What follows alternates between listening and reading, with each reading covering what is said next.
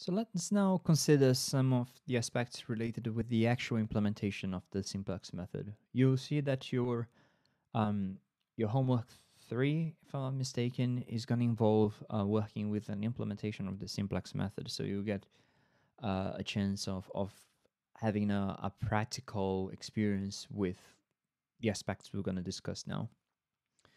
Um, so basically, the one of the main key things that change uh, in between simplex method implementations that you see in different solvers that are available out there um, associated with how things are selected. And basically, there is two big options when it comes for the to the simplex method and what you're choosing. Uh, the main one I would say is related with how you select the variable entering the basis so basically we'll be saying that pick any that has a negative reduced cost, but you will see that quite often you have several variables that show uh, um, a component of the reduced cost vector being negative. So how do you choose them? Um, and that, that can influence uh, quite significantly the performance of your simplex method.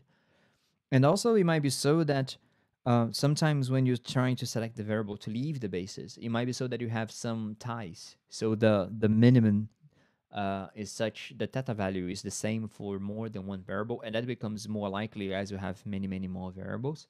So you have to make a decision on who, which of these variables you're gonna select to to leave the basis.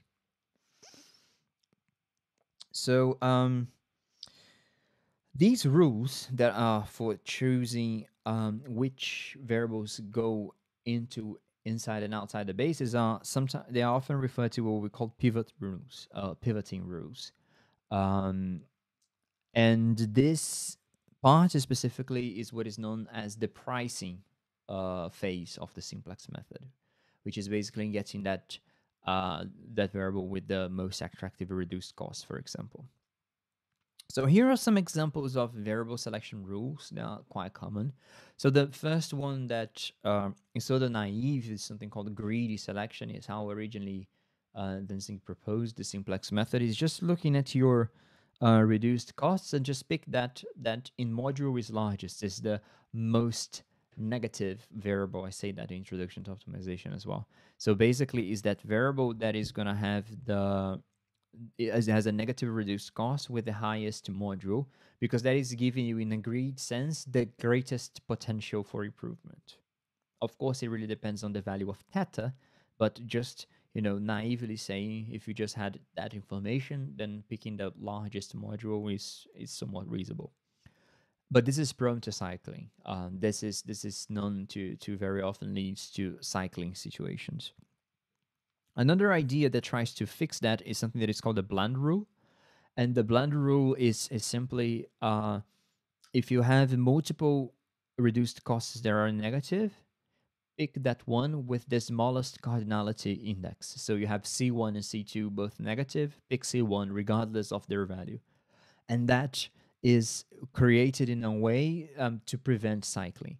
Uh, and then it's it's not it's not hard to to convince yourself um, that if you always do that, you you might you're gonna be making choices that that prevent the cycling of the variables.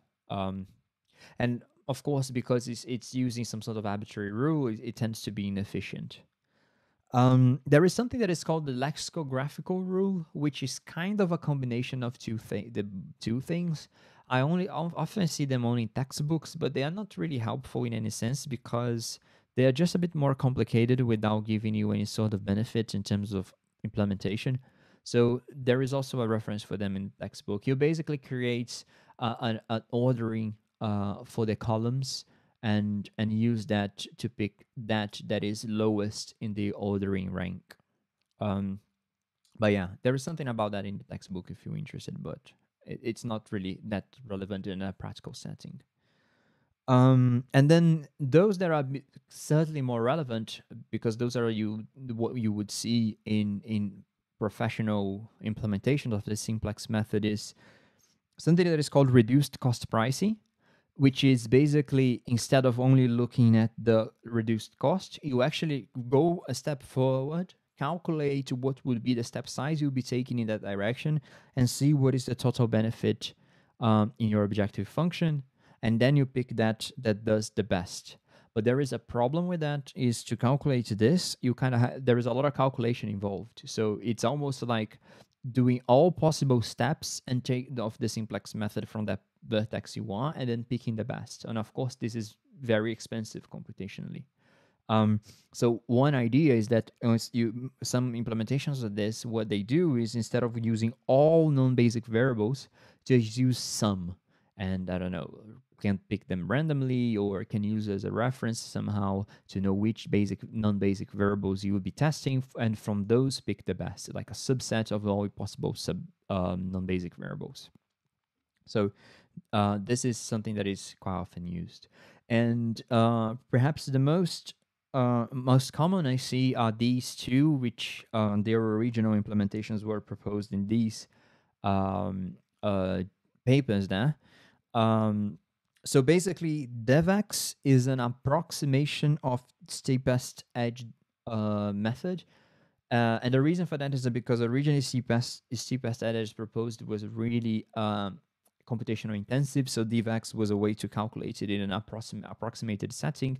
But then later in, in the 90s, uh, these two people showed that you can have an efficient implementation of the steepest uh, descent method, and then it turns out that still both of them are, are used because there is not there is not a an absolute winner between Devex and steepest edge, which which is best in terms of variable selection. And basically, what what steepest edge is, is show is trying to do, it looks at the the direction vector so so it looks at the direction vector d, and it compares it against the vector c, and try to find those those directions that form the highest possible angle theta between them. And the direction with largest angle with the vector c is what is the, called the steepest direction. So you try to move against the vector c as efficiently as possible in terms of being, you know, optimally, that would be the direction of maximal descent. So you're picking the, the direction D that is closest to that. So that involves calculating D directions, including basic directions for several times. And that can be quite computation expensive unless you, you have appropriate computational structures to save in calculations. So here are the papers in case you're interested in, in seeing how these things are done in a more sort of protection professional setting. But for our course, we will concentrate on looking into these two because they are much simpler to implement.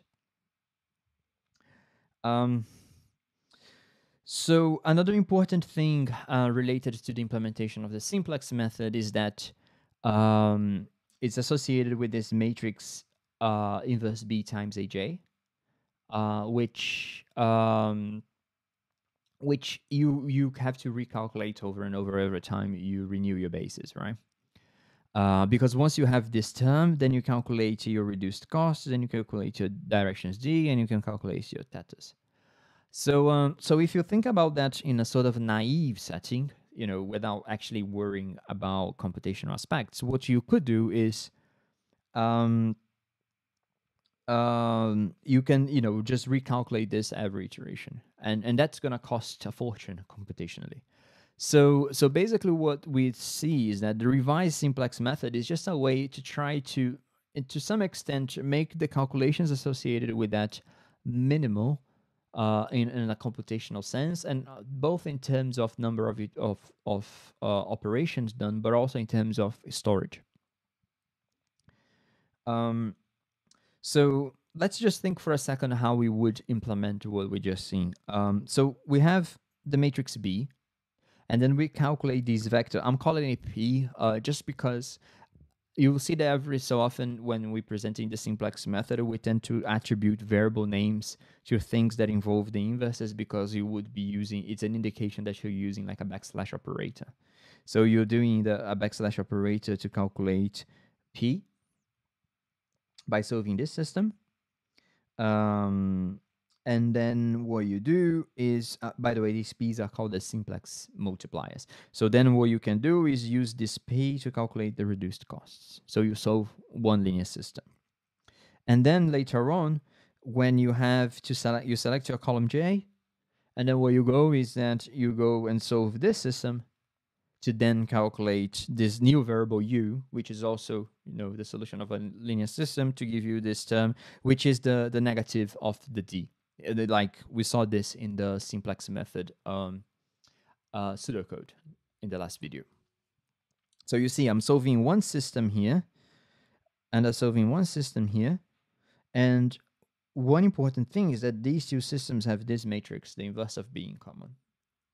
So, so if um, what this revised simplex method is trying to do is figure out ways that instead of having to solve two separate systems, actually keep the same common element uh, distributed and, and prevent having to calculate it twice.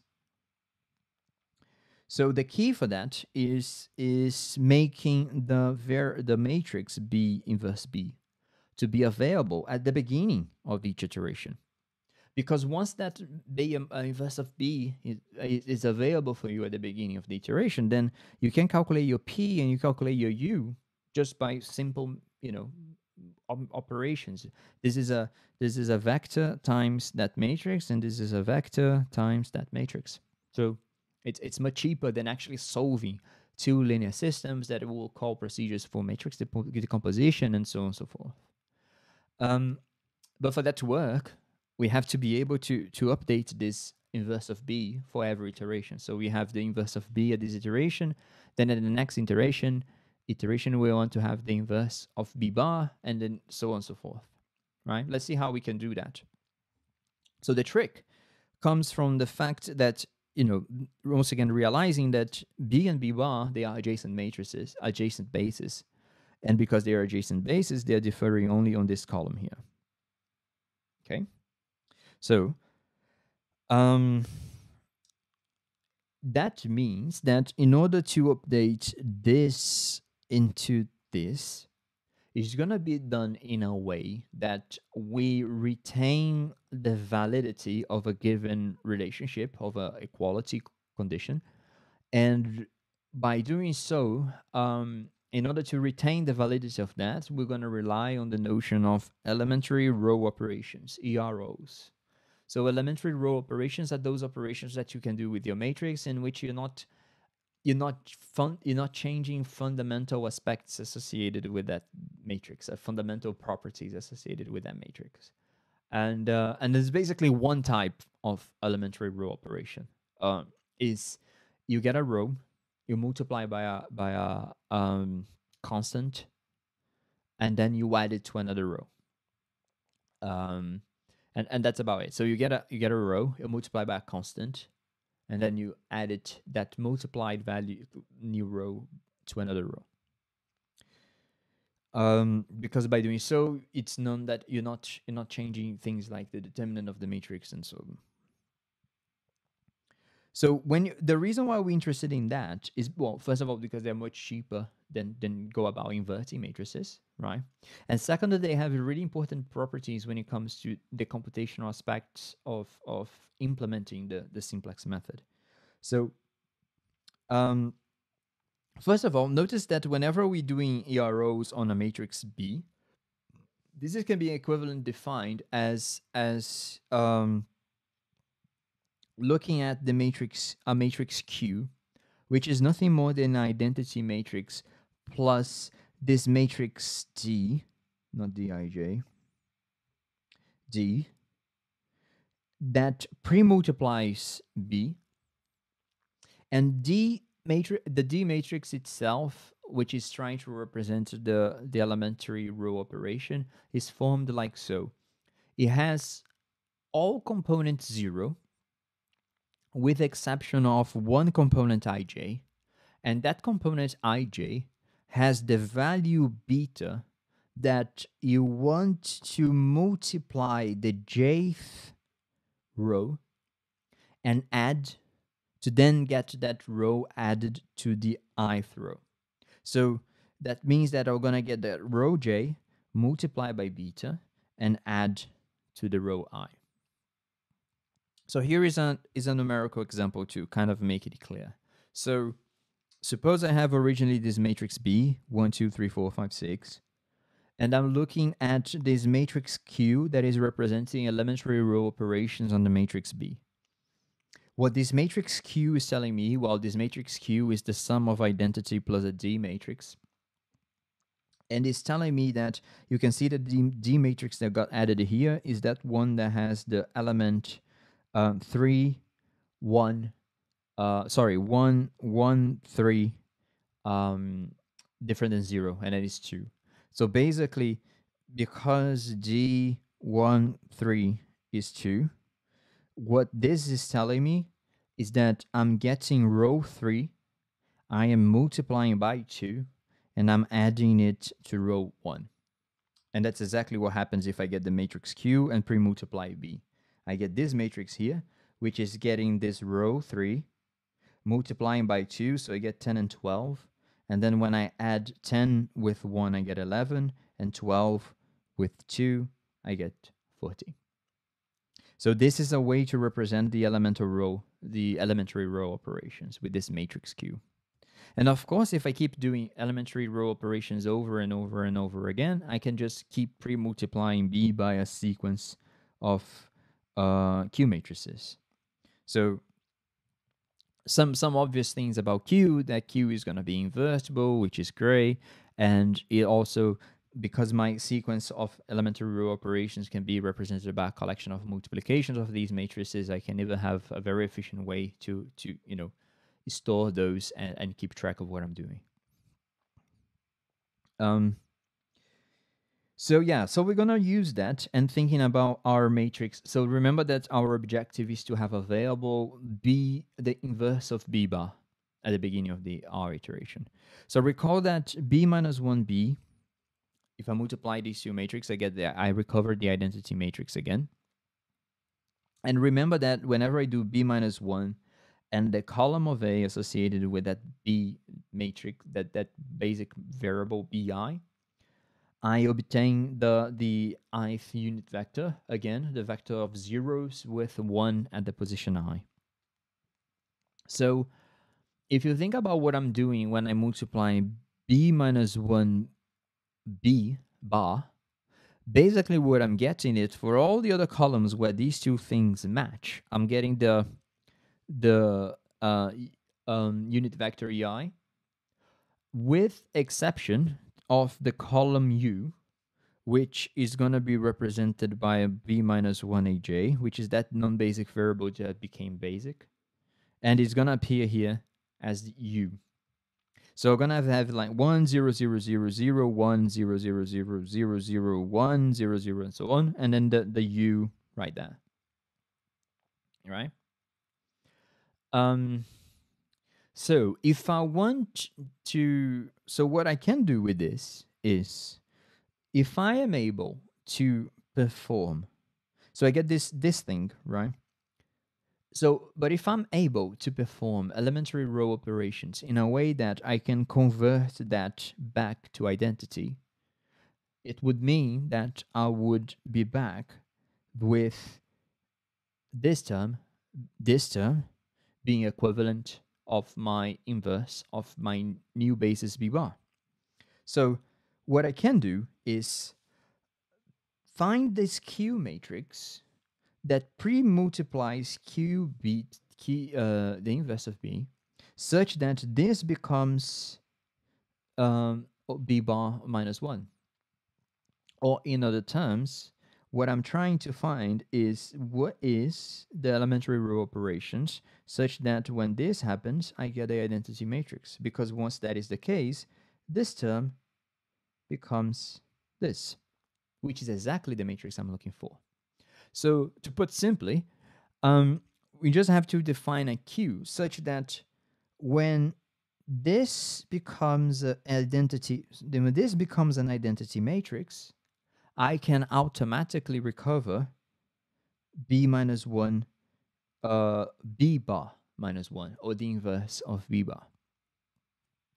So what I can do then is if this Q matrix can actually be pre predefined just by looking at this. Because what I want to do is to turn this into 1 and all the rest into 0. So the way to turn this into 1 is basically multiply this multiply this row by um, um, 1 over ul, and that makes this term become 1. And then for all the other rows, what I do is I multiply this element by minus ui times um, u ui by ul and add it to the ith row. So so that would mean that when I add it to this term, I'll get a a I'll get a zero. Um, for ex so for example, because when I get this row and I multiply by minus ui over ul, I get this ul cancels out with that. I get a minus ui. And then when I add to the ui that is here, it becomes zero. So that's a way, it's sort of an automated way in which I can zero these terms.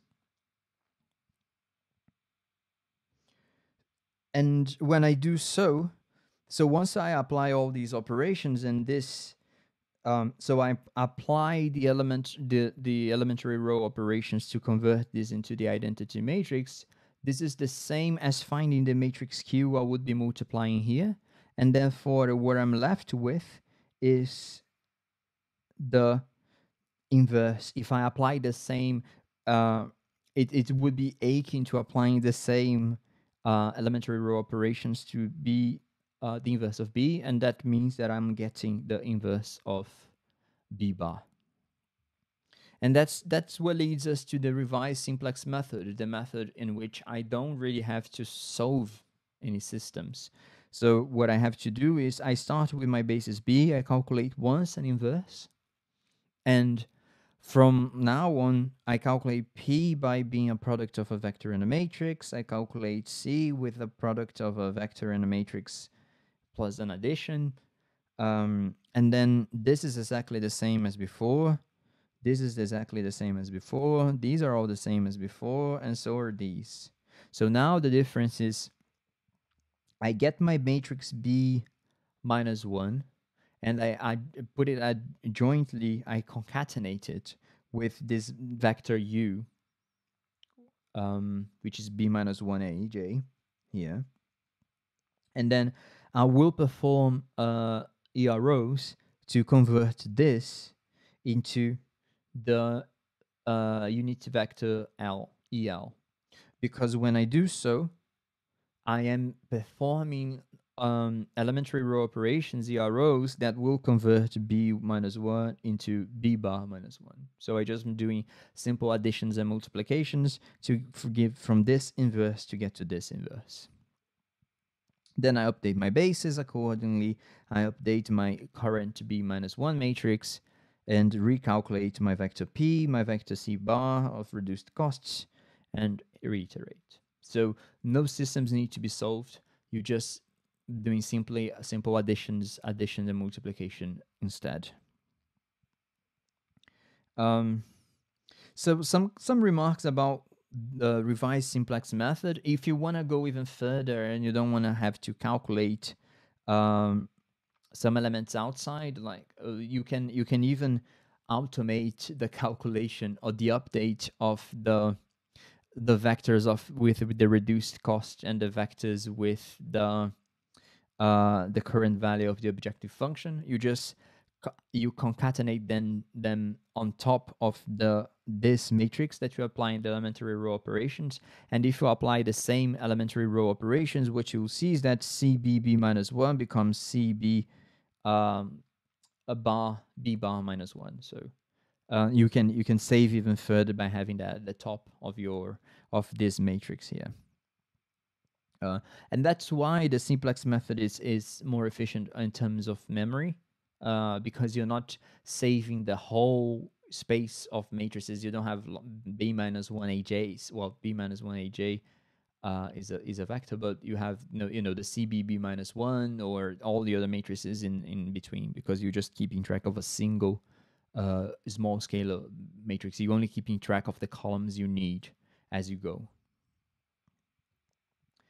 Um, and some some ideas in terms of efficient implementations of the of uh, the simplex method, revised simplex method, is that even though because you know when you actually look at the computations of this, whenever you you you are doing your elementary row operations instead of actually reinverting the matrix, um, you you might be including uh, some degree of numerical error. So uh, after you do that after a few iterations, you might end up with a matrix that doesn't look like the inverse of b bar at all anymore because of all the error that has been accumulated with the EROs.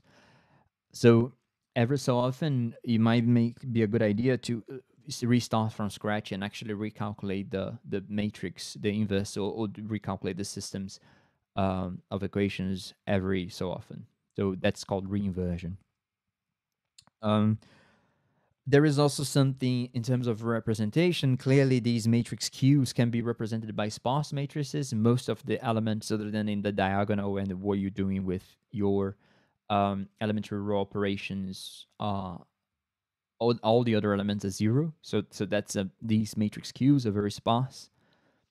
Um, so one idea is that instead of having, you can keep track of the same matrix that is sparse by just adding the elements uh, little by little.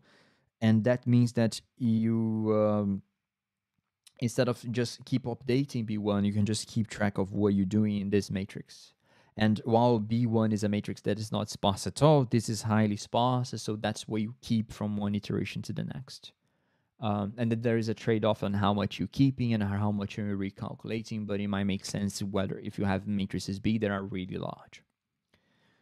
Um, and um, last but not least, so it, this is a key important. Uh, this is important in, in this in the sense or in the actual implementation of the simplex method. It relates with the fact that um, you might be interested in use decomposition versions of this inverse to save in in, in storage or to improve the efficiency in terms of inversion that comes from the use of, of the backslash operator, for example, like we said before. Um, so another another interesting aspect related with the simplex is the the way it's often presented. We're not going to explore Tableau representation too much, but it does pop up here and there when we have to explain a concept that uses information from the simplex method like when we're talking about dual simplex or when we're talking about uh, I don't know cut generation in in integer programming. Um, sometimes it's helpful to have this sort of tab- tabled representation of of a current basis uh, in in the simplex method, and you can do that with using this Tableau representation. And the Tableau representation is nothing more than the less efficient information-wise uh, way of of keeping track of what's going on in the method. So basically what you do is you have a whole representation of the b minus 1a and b minus 1b simultaneously. So basically you have a collection of rows where these coefficients on the left are representing the components of each of those. So for those basic, basic variables, we just seen that these are the, the e, uh, the ith uh, unit vector. And for the others, uh, you know, you actually only leaving interesting values for the non-basic variables for that basis and that you have the solution of the system on the right hand side and you also have a you can like we did with the revised simplex method we, we can have a bit here that is representing this bar because if you perform the same uh, um, uh, EROs, you convert this into uh, the inverse of B bar. So you get the reduced costs there for free as well. And you can also have this term uh, sitting here. So you can get the the value of your um, um, the value of your uh, objective function at a given basis. And also, if you update this, uh, you have them accordingly. There is just a question of uh, a, reason of sign that is because of the way uh, things are laid out. Just to make sure you you know you you are adding things with the right signs. Is that it's related with that change of sign now between the vector u and the actual direction d. So you have to be careful. There is a there is a sign change that makes this show negative values instead. Um, and then the tableau kind of looks like this. Uh, that's just a tableau representation, which is is like in, in two lines here, but actually you end you have a line for each basic variable with the value of the basic variable being displayed there. the value of the objective function displayed there, and then the reduced costs displayed here. We'll do some numerical examples in the exercise session so you get familiar with that. If you did introduction to optimization, you have seen this more than enough already. Um, but this sometimes is a useful form for when we explain concepts in the future. So we're going to practice uh, a bit more later on. But but it's it's not efficient at all. It's it's the main reason why we talk about um, Tableau representation. It, it's because well, in the past it was relevant because you didn't have computers to help you learn these things, so you had to do a lot of this by hand. So it's helpful in that sense. Um, and it also has this as perspective that it kind of simplifies uh, the representation of of the all the elements associated with a given basic matrix B. Yeah. So some nomenclature for for this tableau is that whenever you pick the column uh, b minus one aj, this is the called the pivot column. Is the column that you're gonna make look like the ith um, unit vector, and the alth row is the basic variable you just decided that is gonna leave the basis. Um, so you call that the pivot row, and the intersection of the pivot row and the pivot column is the pivot element which is the element in the U vector that you turn into one with um, your elementary row operations. Okay. Um, like I was saying, the all the information available is uh, explicitly available uh, in the Tableau, which is useful for hand calculations, and that's all. And um, likewise, when you perform EROs, what you're basically doing with the Tableau is converting them the Tableau from this form into this form, and then once again changing the the matrix B, uh, the ba basic matrix B into into B bar, but only in terms of its inverse.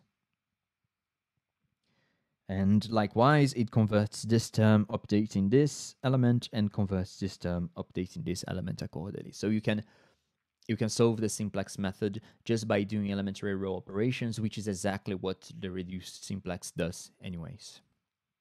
You don't have to solve any systems in that. The last aspect associated with the simplex method um, implementation is, is the notion of how you generate these initial feasible solutions. So all the pseudocodes we showed so far, they have this thing at the first row saying that you start from a basic feasible solution. And how you get that? Well, whenever you have a problem that is well behaved, written like so, what happens is um, let's let's make this two variables into constraints. So you have a1 x1 plus a12 x2 less or equal than b1, and you have a21 x1 plus a22 x2 less or equal than b2 and that has two variables and two constraints. So what we can do is we move this to the side and we add here a slack constraint for this, a slack constraint for that. Uh, then we have that these two slack constraints behave like the normal variables.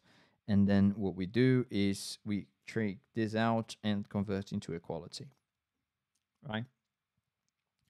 Um, and this, by doing so, we have an obvious basis to start with. So if we say that IB, um, because we're grown ups, what I'm actually going to do is that I'm going to call this x3. I'm going to call this x4 because they are just variables like the others. So I can make my, my basic variables be x3 and x4. And that forms me the system. My matrix B is the identity 1100 like so and that means that x3 equals x4, which is equal to b1, b2, and x1 and x2 is 0. And that is the same as saying that for this problem, what I'm doing is I'm making the origin my first basic feasible solution. And once I make the origin my basic feasible solution, the algorithm can carry on and, and do what it does. The problem is when you have greater than equal than constraints or when you have equality constraints, the likelihood is that these are one of those affine subspaces. They're defined affine subspaces that are shifted from the origin. And because they are shifted from the origin, most likely means that the origin trying to do this won't work. because 0, 0, the origin won't be a basic feasible solution. So when that is the case, what we have to do instead is to rely on the use of artificial variables. So basically what these artificial variables will do is they will take the role of assuming value whenever the constraint is infeasible. So instead of absorbing slack, you know, excess of feasibility, what they absorb is infeasibility. Um, and that leads us to defining a subproblem that looks like so. So um, suppose we have, in that same example we had a11x1 plus a12x2, but that was now greater or equal than b1, and that one here, x1x1 plus a22x2, now is less or equal than b1 too. Okay, so when I do the same trick with these two uh, variables here, what happens is I will have to actually have a minus x3 for this variable to represent this slackness. And for this one, I can have plus x4 and then become equals, that become equals. But now what happens is I get my B matrix becomes this B minus 1, 0, 0, 1. And that means that x3 is minus b1 and b2. And you can see that if this is positive, then this is not feasible so that you don't have a feasible starting basis. So what we do, we move that along a little bit more and like so, and add a variable that would allow us a trick. So I'll call it x5 because we are all grown-ups. And instead of choosing b to have x3 and x4, what I actually do is make this b x4 and x5. So this matrix here can be changed into 1, 0, and then x5 becomes b1. So that that's just it. And that gives me a starting basis, artificial,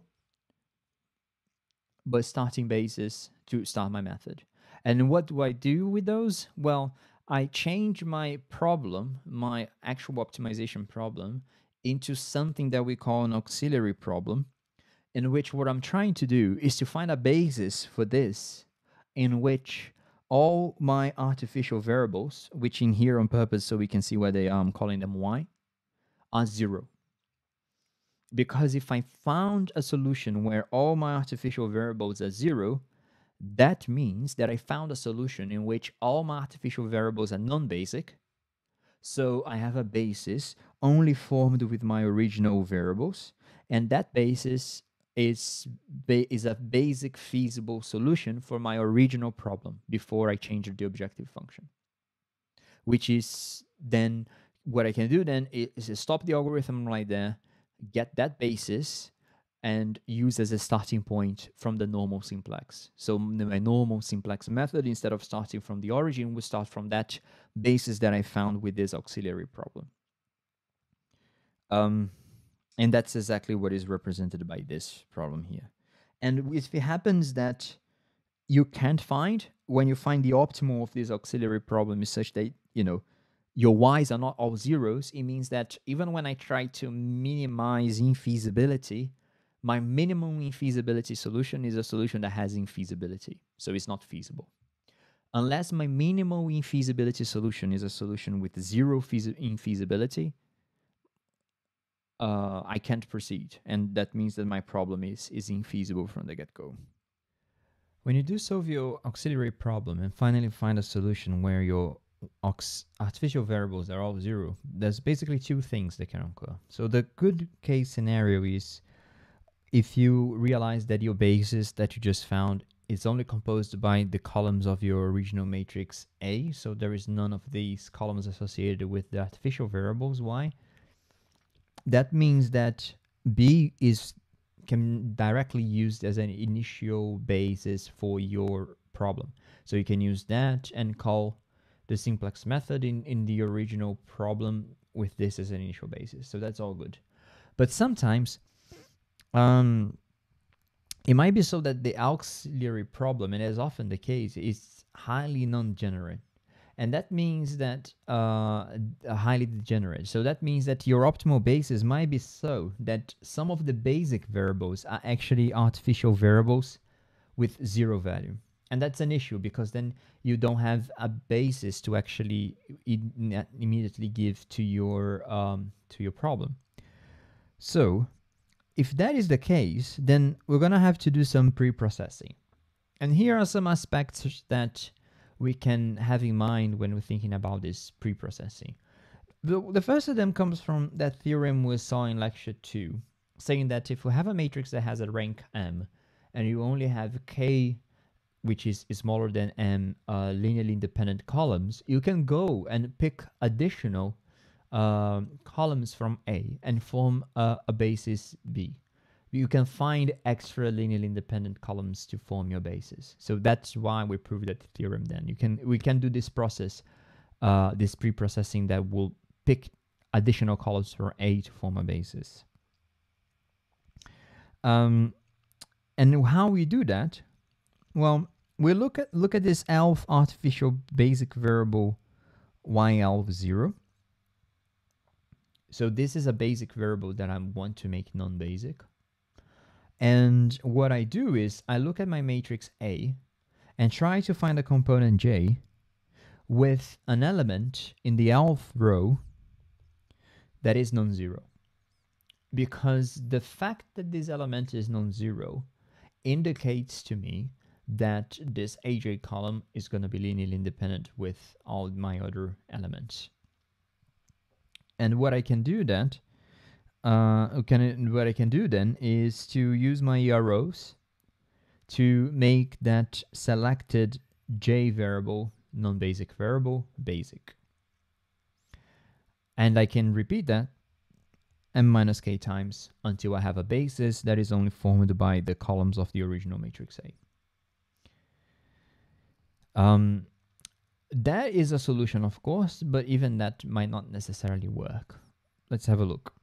Um, so this is just showing that when you pick that AJ column, it is definitely linear independent. This is is exactly the same argument of the theorem we proved in the I think in the previous video, where we show that because this element is the only when you pick this column of inverse BAJ that is there's a elf entry that is non-zero. All the other all the other elements in the beta minus one a will have zero component for that. So it means that this vector has to be linearly independent. It's exactly the same argument as we had before. The issue, I think, is a bit more complicated is when you can't find a non-zero element. So when you, you, you identify, yeah, so this is my basic variable when I want to get rid of.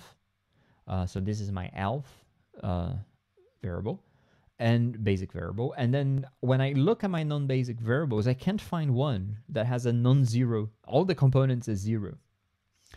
Um, well, that has a reason. It, it can only happen if it's the following. So let's let G be this row of B minus one that you looking for an element that is different than zero that you won't be able to find an element that is different than zero if that g is a is a null vector. Okay.